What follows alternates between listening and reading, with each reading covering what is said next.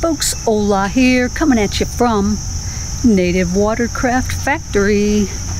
Gonna do a little tour this morning before I pick up my kayak here in Fletcher, North Carolina. It's kind of, we're out in the mountains, kind of in the boonies, but uh, stick around and let's take a look inside. Hey Dave. Right here it is, look. Yeah. In person. Good thing both of your boats I think are ready. I'm very grateful that they are because there's a storm a coming. Yeah. Ready? There's the Max, folks.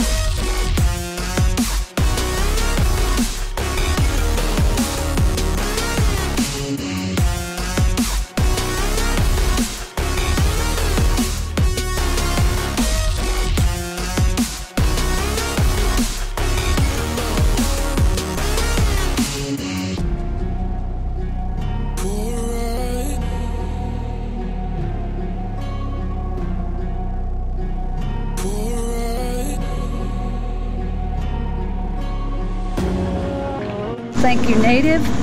Thank you, Lucas. Thank you, Anna. Thank you, Justin. We're on our way back to Florida. Thank you, Native.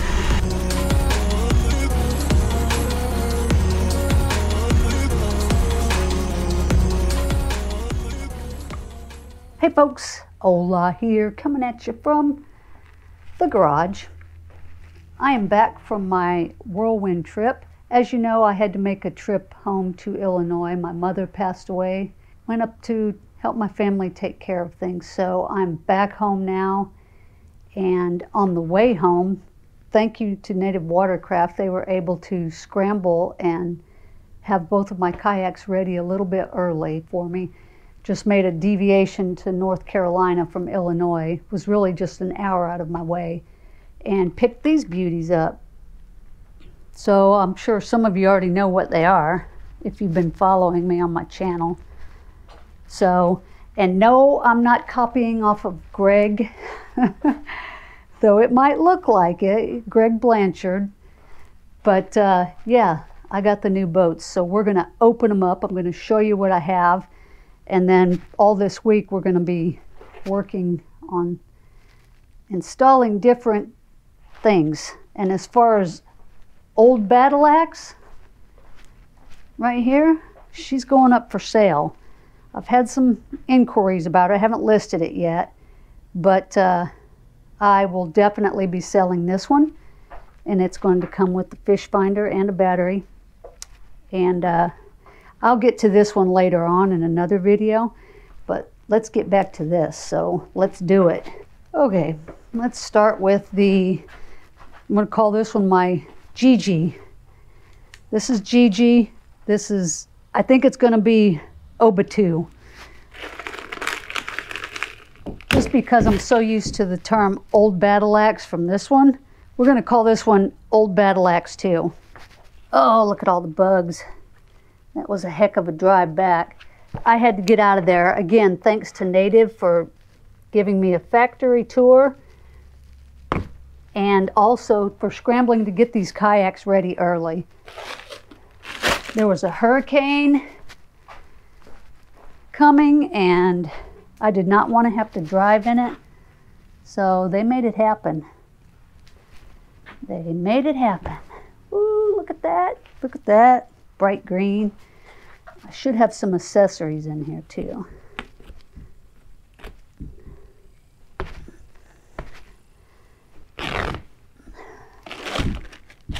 got some accessories here.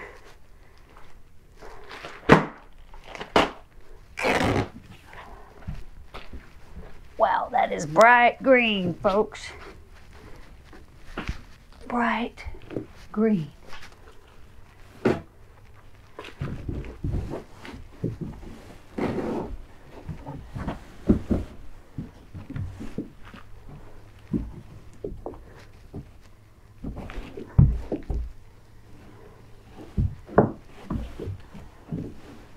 Oh yeah, yeah, look at that.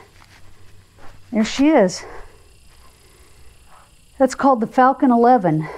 11 feet, about 65, 70 pounds, somewhere in there. Let's see what they do here. Should be like this along there. Oh yeah. Beautiful, beautiful.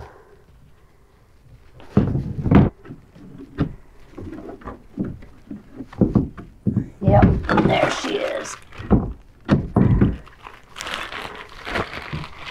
That's really the only setup we have to do on that one is mount the wheel and the keel.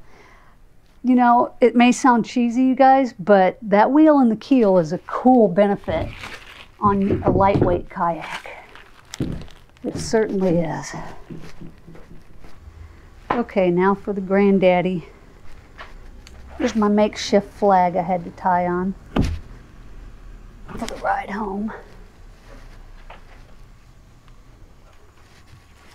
Ooh, look at that, look at that.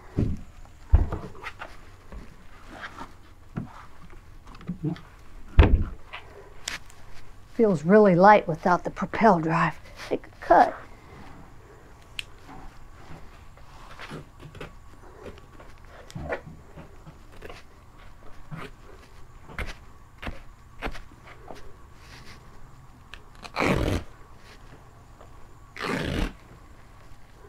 It's nice that they pack them in this t-shirt before it hits the road.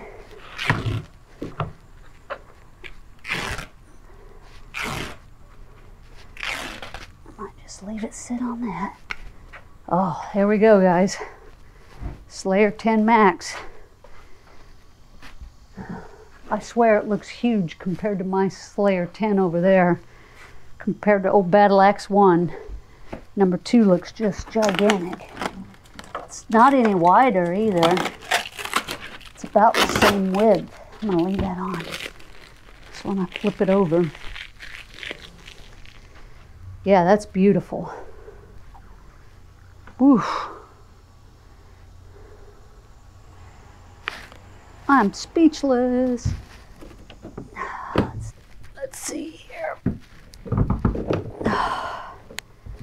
Oh, yeah. Oh, yeah.